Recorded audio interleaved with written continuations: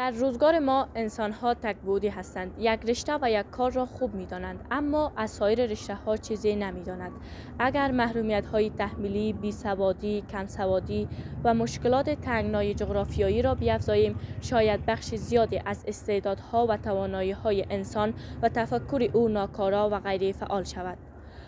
اما گاه گاه تک درخت های تنومندی پیدا می شود که در دل طوفان ها مردانه و بلند ایستاده اند و شکوه و اقتدارشان با تلاش و راستکاری از آنها استوره می سازند.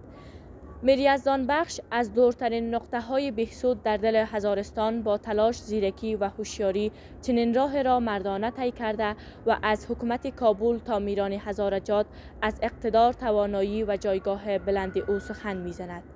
او سیاستمدار آگاه، سرمایهدار مهربان، رهبر خردمند و شخصیت فرهنگی و محبوب دلهای جامعه بود. او را بیشتر بشناسیم.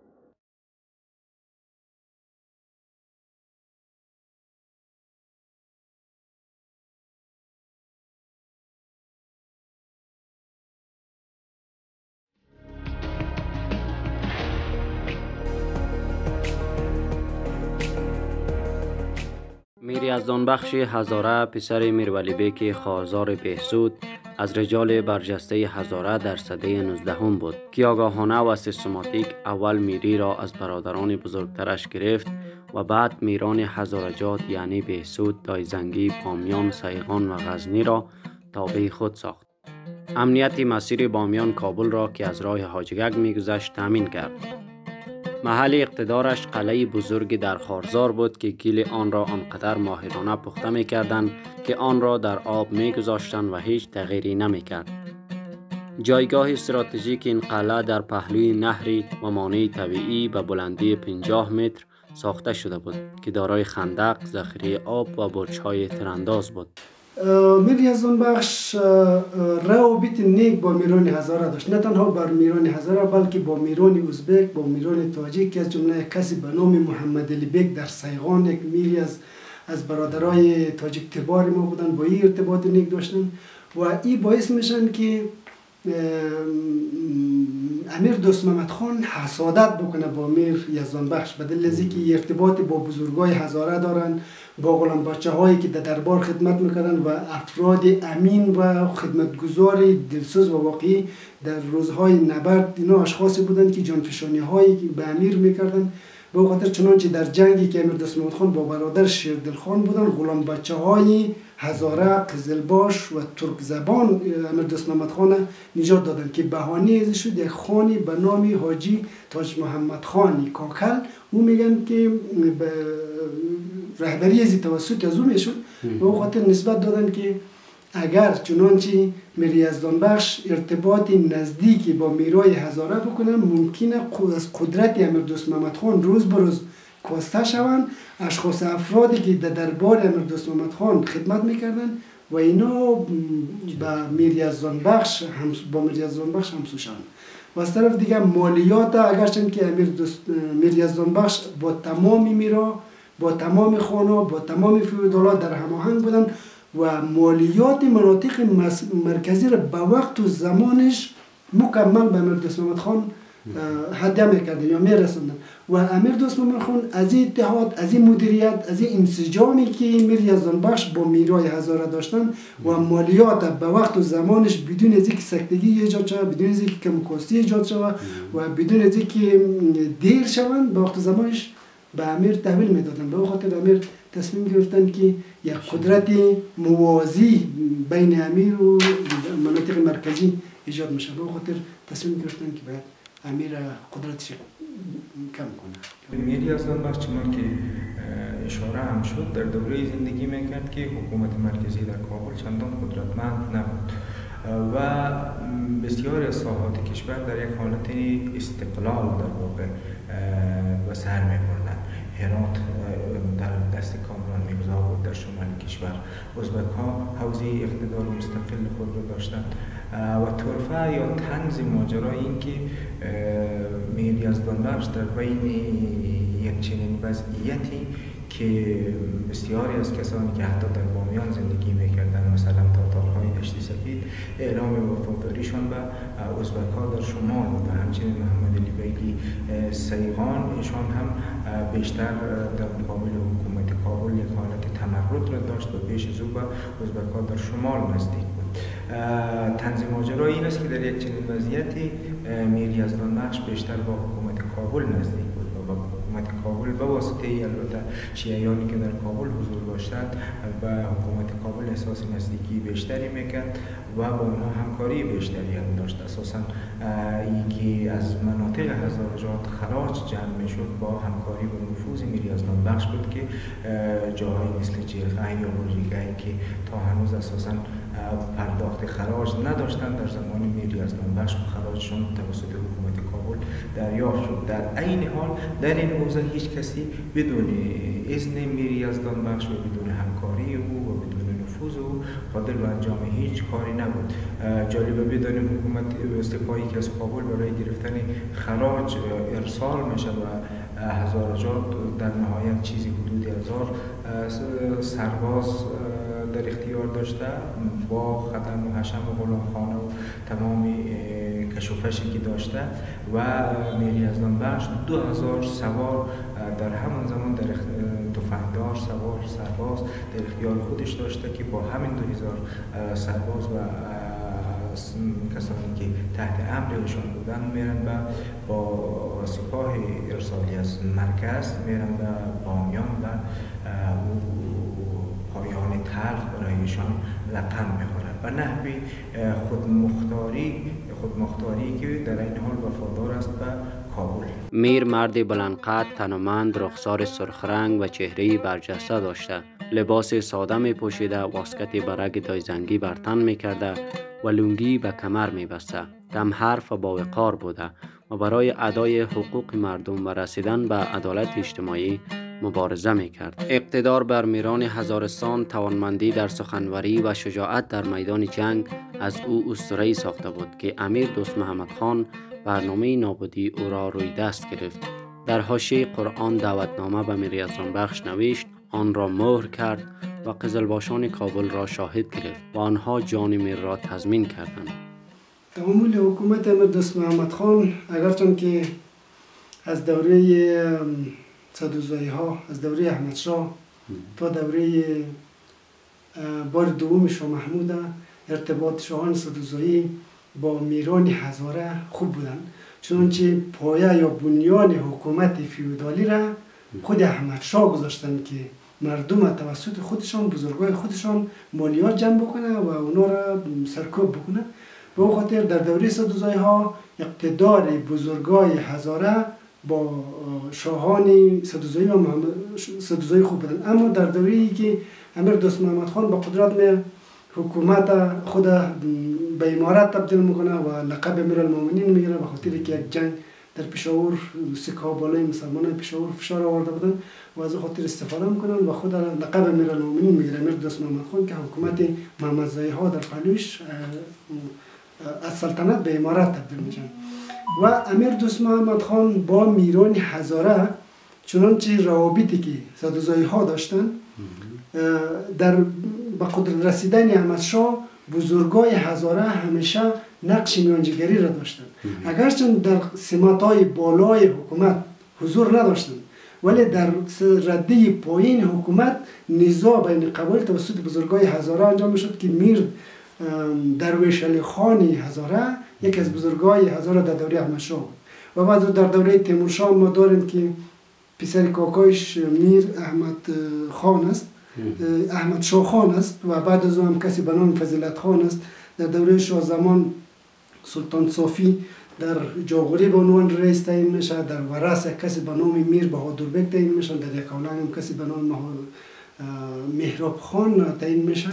اما در دوره می‌رسیم تا دوره زمانم که خودش چندین نوبت با برادراش درگیر بودن ولی او ارتباطی نیک با میران هزاره داشتن. چونچه که طرف هرات با جنگی که با محمود داشتن از روی هزارجا سفر می‌کردن. به این منظور که بعضی اشخاص و افراد در اردو خود جذب بکنن از از هزاره ها ارتباط نیک داشته باشه یزدان بخش در واقع برای نخستین بار یک نوع وحدت و یک نوع یک پارچگی اقتدار آفرین و قابل توجهی را بین تمامی هزاره ها یا لاقل در سطح بسیار گسترده ای در بین هزاره ها به وجود آورد ساحه و قلمرو نفوذ میری از بخش از سرچشمه آغاز می شد و تا بامیان امتداد پیدا می کرد حتی تا شیخ خلیج غیب و یک ساحه بسیار وسیعی بود و تمامی قوانین و میرهای هزاره که پیش از او در یک حالتی از تشتت در یک حالتی از افتراق و چند دستگی و سر بردند به نحوی زیر نفوذ میزدان بخش قرار گرفتند و تابع اوامر و فرامین ایشان شدند و به قسم یک پارچگی و وحدت در بین مناطق هزاره نشین به وجود آمد که به شدت خلق اقتدار کرد برای هزاره ها و نه تنها هزاره ها حتی شیعیان کابل شیعیان چنداول که تا پیش از او چندان در مناسبات قدرت مورد توجه قرار نمی گرفتند هر از چندی از جانب کسانی که در کابل بودند یا کسانی که در کوهدامت شمالی زندگی می‌کردن و اهل تشیع نبودن به بهانه مذهب مورد هجوم و حجمه قرار می گرفتن حتی برای این دست از افراد که در کابل زندگی می‌کردن یک حالتی از سربلندی و افتخار و قدرت خلق کرد. قسمی که دوست محمد خان نگاهش حتی نسبت به شیعیان کابل هم فرق کرد. شیعیان کابل هم در واقع یک نوع پشتوانه پیدا کردند.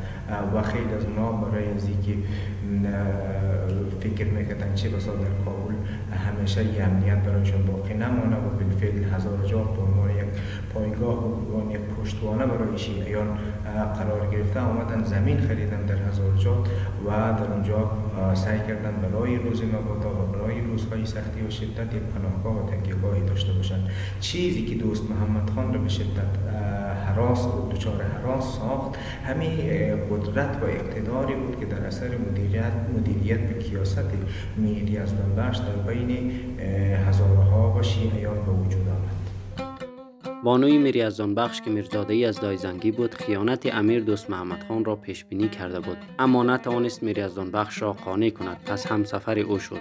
در ابتدا از میری از بخش با احترام استقبال شد. اما ناگهانی میری از بخش و همسرش را زندانی کردند و میر هم با هوشیاری در برابر آزادیش 50 هزار و یا به گفته 100 هزار روپیه کابلی و امیر دوست محمد خان وعده داد و همین وعده ها باعث تاخیر در اعدام او شد. میر زیرکانه از زندان گریخت. و همسرش در محفل عمومی با سخنان بلند مقابل امیر ساد و گفت امیر خجالت نمی کشد که با یک زنی اسیر این گونه خشین رفتار می کند حضار هم او را تایید کردند. سرانجام این بانوی قهرمان از نظربند امیر در خانه قزلباشان کابل گریخت. در کتل اونایی که سربازان کابل مشاهده شد با تیراندازی و جنگ آنها را شکست داد و به قلمرو حکومتش رسید. در قسمت پیامدها باید ارز کنم که پیامدها در واقع درکش. بایستی منطق رفتار سیاسی حاکمان مرکز حاکمان پشتون را نسبت به هزارها درک بکنیم. برای خیلی ها شما مثلا کتاب چارلز میسون رو که بخوانید تعجب می‌کنه از اینکه چرا یک چنین رویه نسبت به میری از بخش که علاوه بر اینکه ابعاد اخلاقیش کاملا زیر سوال علاوه بر اینکه کاملا ناجوان مردانه است. حتی به لحاظ عقل سیاسی هم در واقع یک چنین رویه نسبت به میری از بخش قابل فهم نیست و قابل تایید نیست. این ابهام و این تعجب را شما در قلم و روایت چارلز میسون می‌بینید. برای اینکه درک بکنیم که چرا یک چنین کاری را انجام میدن حاکمان پشتون باید بفهمیم که رویه اونها و نگاه و رفتار سیاسی اونها و منطق رفتار سیاسی اونها چگونه است نسبت به اقلیت ها و همین جمله هزاران ها.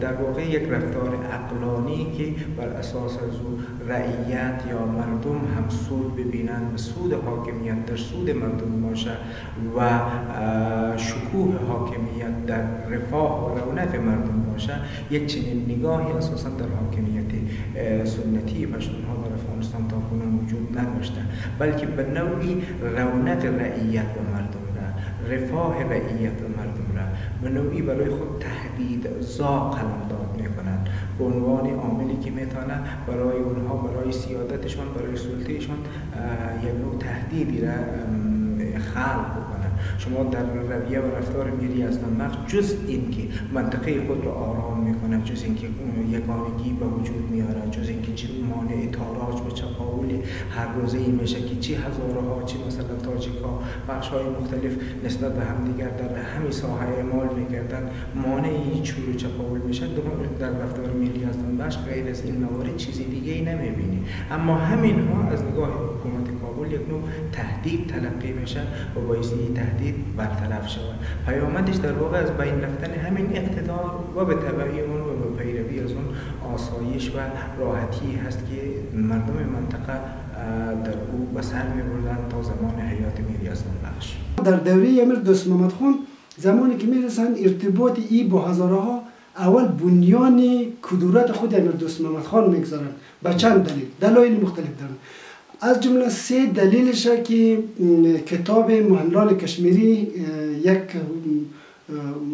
دیپلمات انگلیسی بودن در افغانستان به عنوان تاریخ نویس و نگار بودن و این حضور داشتن و میر یزدان بخش سالانه چل هزار روپیه مالیات اجاره می گرفتن از حکومت امیر دوست خان. ولی امیر دوست محمد خان به خاطر از که این بزرگی هزار از بین ببرن دلایل مختلف دارن. یکی از دلایلش ایستن که میر بهادر میر یزدان بخش ارتباطی با بزرگای ازبک ترکمن و مخصوصا شاه مراد بیگی بخارا که صفحات شمال در قندوز و تخار بدخشان نفوذ داشتن با اینا ارتباط داشتن.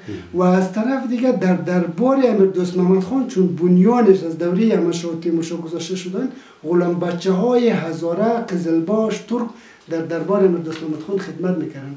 و چون اینا با امیر دوست محمد خان در تماس بودن بزرگ غلام بچه های هزاره به عنوان اسکر و امیر دوست محمد احساس خطر یا ترس از قدرت میر یزدان بخش در بیسود می‌کنن به اون خاطر طرح نابودی میر یزدان بخش ریختن از سوی دیگر میر یزدان بخش بسیر تجارتی بامیان کابل که از راه کوتل حاجیگک میگذشت را تأمین امنیت کرده بود که بر اقتدار و محبوبیت مردمی او افزوده شد و امیر دوست محمد خان هم آخرین تلاش برای نابودی میر هزاره را روی دست گرفت. حاجی خان کاکی را در قالب یاغیان حکومتی به بامیان فرستاد. حاجی اول رابطه دوستانه با میریزان بخش را آغاز کرد. اما بعدا ناجوان مردانه میریزان بخش را اسیر کرد و به بهانه یاغیگری علیه حکومت او را به شهادت رسانید سپس وحشیانه در سرمای زمستان مردم اهالی بامیان و بهسود را از خانه هایشان بیرون کردند. بخشی از زمین های آنها را به دیگران بخشیدند و مالیات بهسود و بامیان را بالای کسانی که باقی مانده بود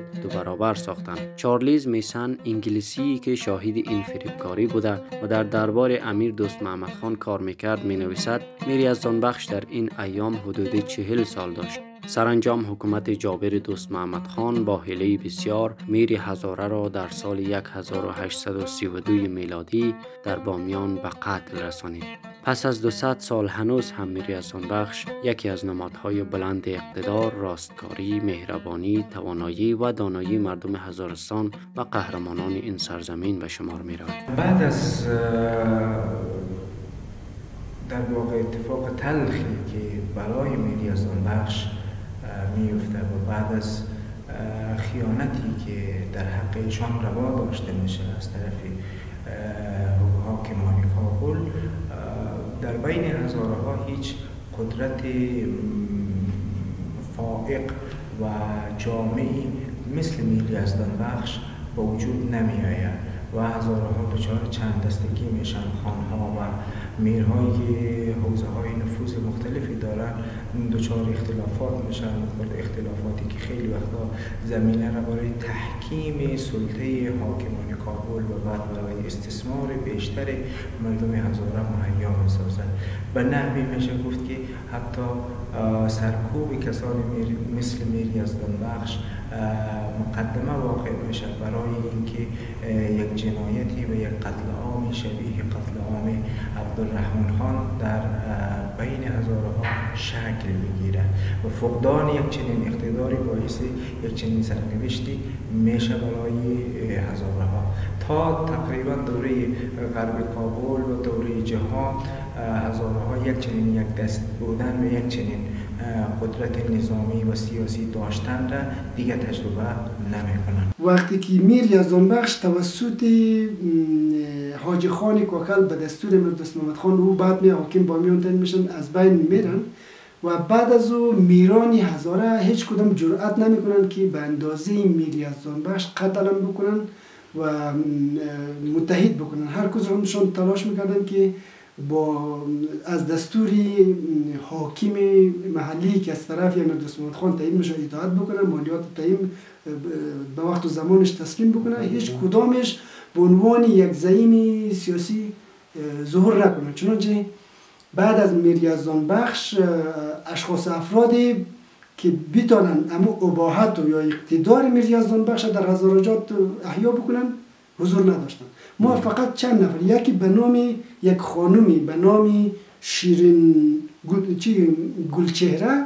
دختر یکی از میرای هزاره. یک دلم می‌کنن به عنوان یک بانوی بزرگ که بعد از میری از بخش در جنگ دومی در دوره امیر خان و بعد در دوره یعقوب خان که جنگ دومی افغان انگلیس صورت اتفاق میفتن یا شکل می‌گیرن. و این گلچهره دختر یک از میرای هزاره به عنوان فرمانده نظامی عمل می‌کنن که نقشش در اسیرا در تداوی زخمی هایی که ایوب خان در جنگ شکست می‌خوره و این اردوی ایوب خان دوباره به جنگ تشویق می‌کنن و نمونه مثالش ما یک کسی به نام ملالی شما شنیده بودین که اردوی افغان شکست می‌خوره و چادر خود به پرچم جور اردوی افغان دوباره به جنگ دعوت می‌کنه که اردوی انگلیس شکست می‌کنه. و یکی از امو بانوای برجسته ای که در جنگ شرکت کرده بود دختر یک از می‌روی هزاره است که وی هم نامش گلچهره است و هم اهلی بامیان بودن. و بعد از بعد از جنگ دوم افغان انگلیس ما یک کسی به نام امیر یا میر محیب خان داریم در بامیان. و در هزارستان در جاوری کسی به نام سردار شیر خان داریم. در دوره امیر شیر خان است و بعد از جنرال شیر محمد خانی هزار است که هم در جنگ در جنگ میوان نقش خوب داشتن. ولی جای میر یزدان بخش بعد از او پر نمیشن یا مثلا کسی جاگوزینی که بتونن همون اقتداری که میری از بخش داشتن میرای هزاره دوباره او رحیا بکنن نمیشن فرزانگان هزارستان ادامه دارد. از شما سپاس گذاریم که همراه و همدل ما هستید. سپاسگزاری ویژه از صرافی قاسمی ملبورن که اسپانسر برنامه ما هستند. تا برنامه بعد روزگار خوش.